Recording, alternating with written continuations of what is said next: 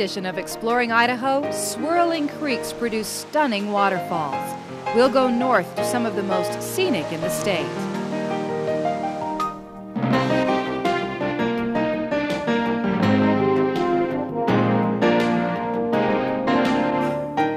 Idaho deserts have a beauty all their own. Surf the sand at Bruneau Dunes State Park.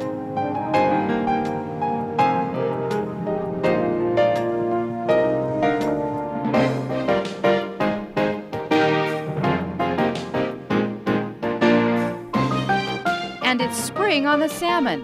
Flowers are wild, and so is the ride.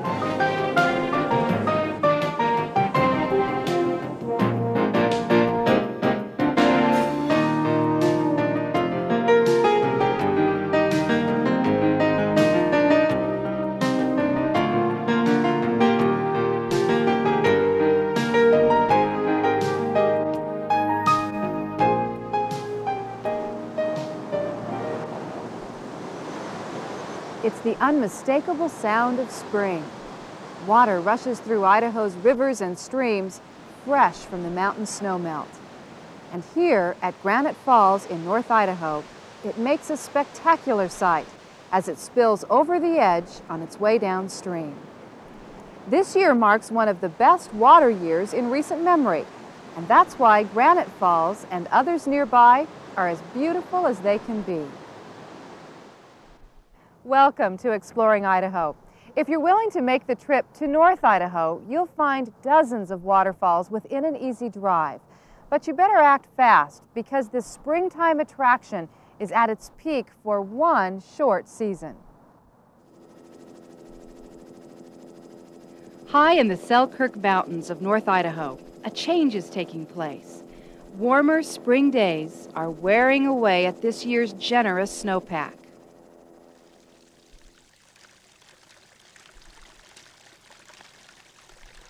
Drop by drop, winter is giving in to spring. It doesn't take long before those drops become trickles.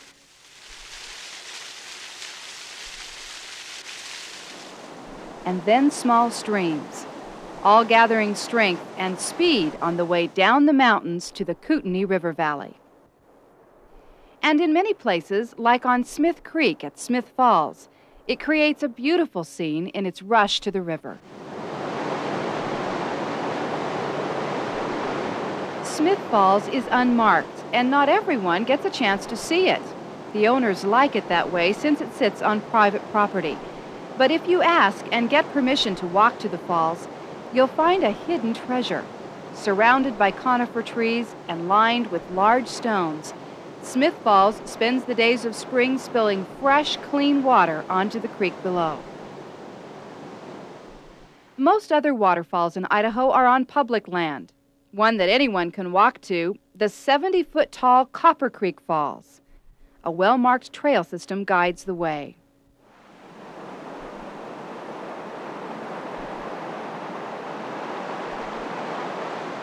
The rumble in the distance lets you know when you're near. And then, like a giant natural shower, Copper Creek Falls sprays down water.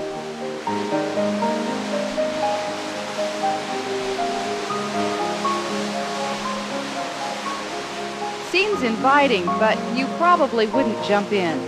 This water is just a step away from snow. But look all you like. Can you see the rainbow? On a sunny day, hard to imagine anything more beautiful in the world.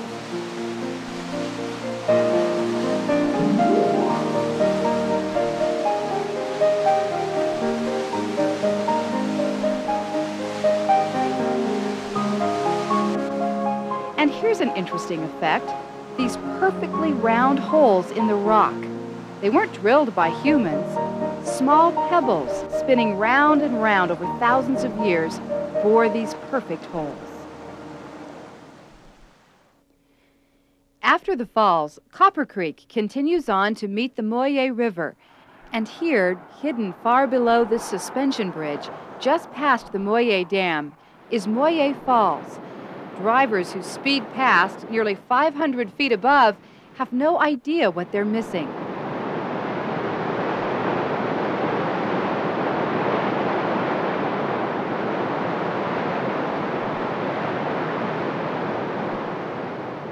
From a better vantage point, you can see Moyie Falls is actually two waterfalls.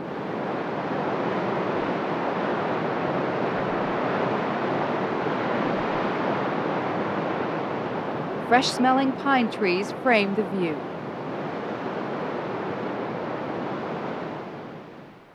For wildlife, water is a key to life. And at the Kootenai Wildlife Refuge near Bonners Ferry, spring is a time to enjoy this new beginning. Here, more than 800 acres of wetlands provide food and habitat for hundreds of species of birds. Baby ducks are a common sight in spring. So are deer, elk, and other animals. And in the midst of all this, you can find two more waterfalls on Myrtle and Snow Creeks.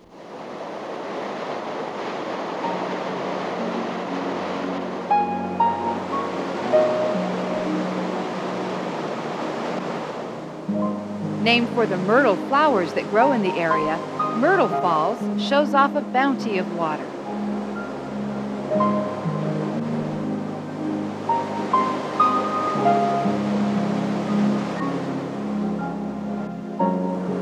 Nearby, Snow Creek is one of the shorter falls of North Idaho, but the beauty of its setting is hard to match.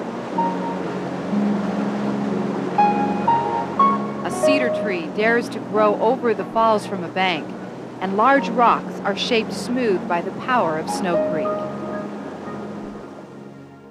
Continue south, and you'll meet the largest body of water in the state. Lake Oreille is more than 40 miles long.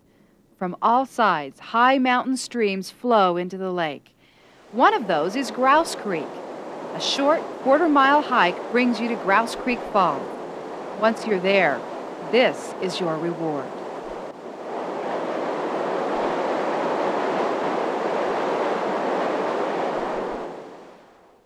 Further south, beyond Lake Coeur d'Alene and almost to Dworshak Reservoir, runs the clear water of Elk Creek. Named for the elk that live and thrive in this valley, Elk Creek displays one of the tallest falls in North Idaho. And that's not all. Sun filters through the trees on the walk to First and Upper Falls. Then a middle falls, dropping 90 feet.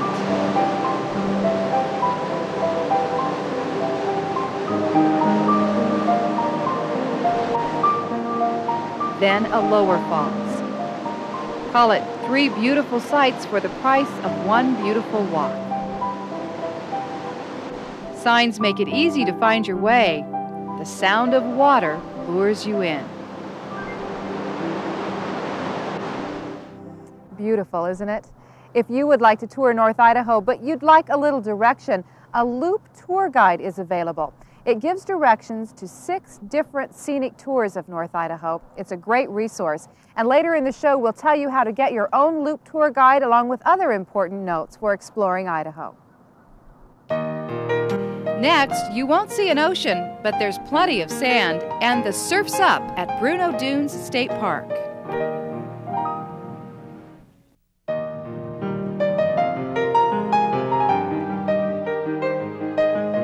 Welcome back. If a trip to North Idaho's waterfalls is a little out of reach, then spring is also a wonderful time to visit southern Idaho's desert.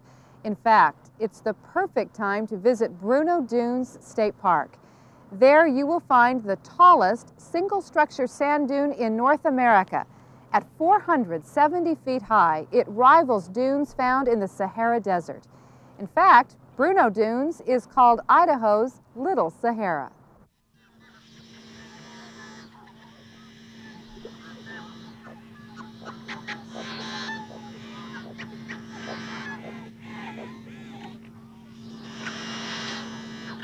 As the morning sun breaks onto the horizon, the birds of Bruneau Dunes State Park send out a shrill wake-up call. Except for the getting up clatter of nature, mornings are pretty calm on the dunes. Their slinky shapes meander across the skyline. But as the morning wears on, the wind gets to work, leaving its imprint in the shape of each dune.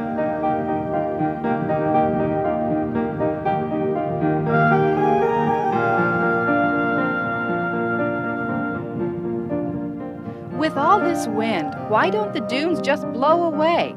And where did all this sand come from in the first place? Bruneau Dunes State Park manager Wes Whitworth is used to questions like that. 10 to 12,000 years ago, the Bonneville flood came through this region. It was the second largest flood in the world. And this was kind of a big eddy in that flood. And the water slowed down in that time and slowed down enough to deposit the sand. And then the winds have blown it in here into this natural trap that we call Eagle Cove here. The dunes don't blow away or even move around much because the wind in this area comes from two prevailing directions, approximately 180 degrees apart. The opposing winds play a game of tug of war, a game that never ends and that neither side ever wins. It's got a first footstep quality every time you come out. The sand erases everyone else's tracks, so each time you go up, it's like you're the first person that's ever been there. Even on a windy day, you'll find visitors to the park. The wind's incredible today. A lot of times you can come out here and it's not too windy, but the wind is what makes the place unique.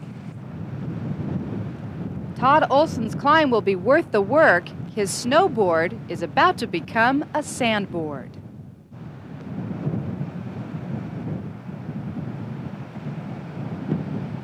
It's like the wettest sloppiest snow you ever had.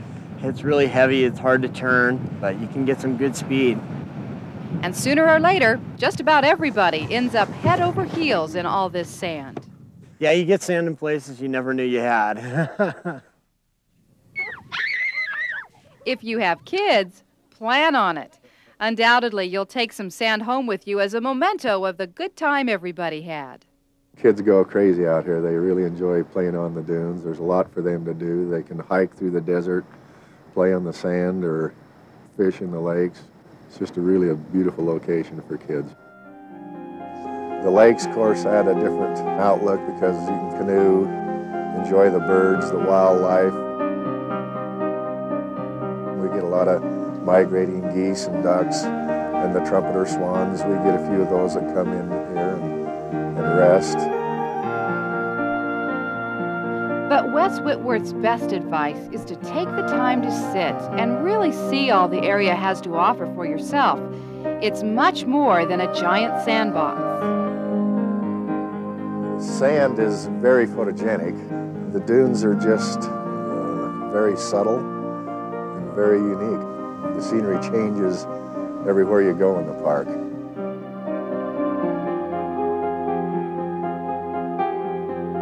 We feel we are one of the major gems of the state of Idaho. It's very unique to the country and to the world. I think you'll agree, and you'll probably have so much fun you'll want to spend the night, and that's no problem. There's a great little campground at Bruneau Dunes State Park with 48 campsites available. We'll be right back. Get ready to get wet. We'll be back with a rocking raft ride down the river of no return. Good run. Hold your paddle.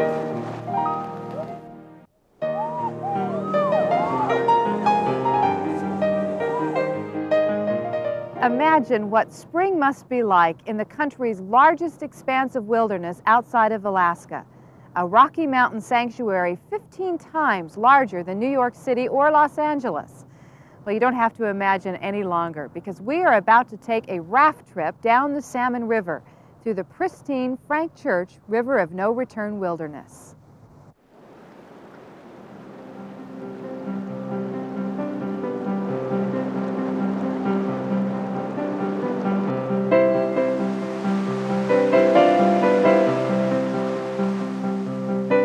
The deep green of the ponderosa pines to the lime green grasses, the Salmon River comes alive this time of year. I think that there are opportunities uh, on the salmon in the springtime that you don't get any other time of year. One is, of course, the wildflowers. April is the time for wildflowers here. The canyon is green, and not just green. I suppose an artist might be able to describe that particular shade of green. I, the best I can do is to call it spring green. It's brilliant. The spring rebirth brings colorful wildflowers, breathtaking waterfalls, and an abundance of wildlife.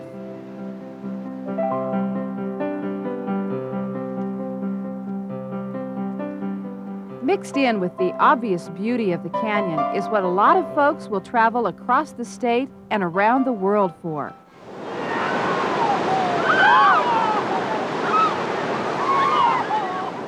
And for those who have joined river guide Wayne Johnson on his annual trek down this famous river, it brings adventure along with the solitude. Spring on the salmon is a well kept secret. Everybody forward.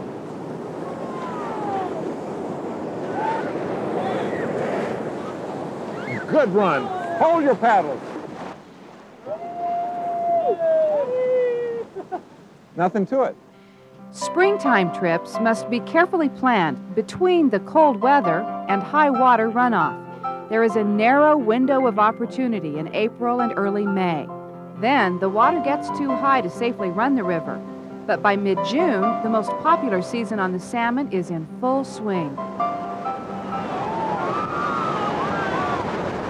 The salmon in the springtime is so unknown to people. It is so un unappreciated as a recreational activity that you really are alone out here. You really do have the river to yourself.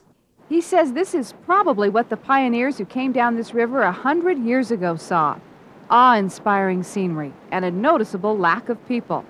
Today, the scenery is just as awesome and the people just as scarce. The scenic beauty, uh, the peacefulness. I've lived in salmon you know, all my life, and I was just thinking, gee, many, a, you know, person needs to do this more often. And I'd certainly encourage uh, you know, all the people of Idaho, especially. This is a resource that's that's right here in our backyard, and we need to spend more time. And While the weather can be somewhat unpredictable, you won't hear many complaints. With the right clothes, a little weather is tolerable. Of course, a dip in the hot springs doesn't hurt either. It feels beautiful. It's wonderful. it, it's rough. this is really rough in here. This water is real This is ice. fun.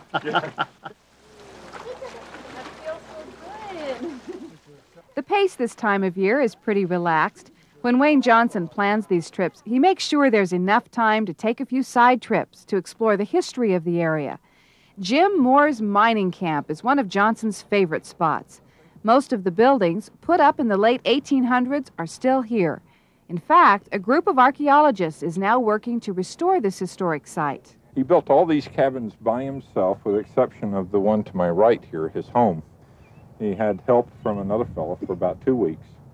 But all the other cabins here he built by himself, except that he had two horses to help him drag the logs. This mining camp is a living piece of Idaho history.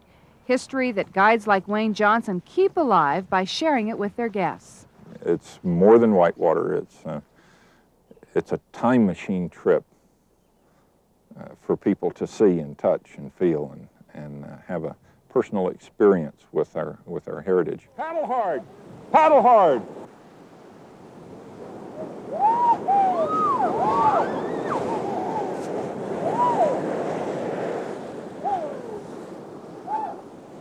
Very good. Okay, hold your paddles. You're wondering if you're going to flip over and if you're hitting it right and if your guide's steering you right and if you're going to end up right side up, but it's always a thrill. It's fun. I love going through those rapids, and um, no matter how cold it is, it doesn't matter because you're have, just having so much fun that it just doesn't matter. I like it up front. It's more fun. You get to see firsthand, and you're just right there. Many spring trips end up in places like the China Bar Lodge. After a long day of rafting and sightseeing, a hot shower and warm bed are just the ticket. Throw in a late night bonfire under the moonlit sky, and you've just wrapped up the perfect day. Paradise, found in the heart of Idaho's wilderness. Summer is the most popular season on the salmon, so if you like sunshine and lots of warm weather, start planning your raft trip now. And grab a pencil because we'll tell you how to get more information on this and the other stories on Exploring Idaho when we come back.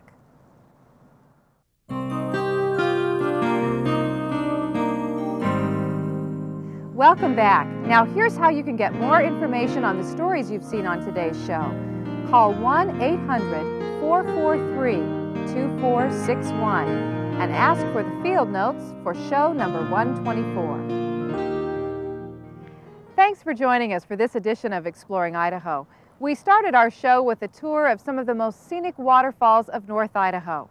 But the Panhandle doesn't hold a monopoly on spring runoff. Before we go, we'd like to take you to a popular desert hiking trail just south of Homedale. It leads to an unexpected surprise. At first, Jump Creek Canyon looks like most of the desert canyons you'll find in southern Idaho. Weathered rock outcroppings tower above a small creek. A short hike upstream, the canyon narrows. Water splashes through a winding maze of boulders and spring greenery A faint rumbling in the distance grows louder, and then through the branches up ahead, you see it a ladder of glass shattering into a secluded pool.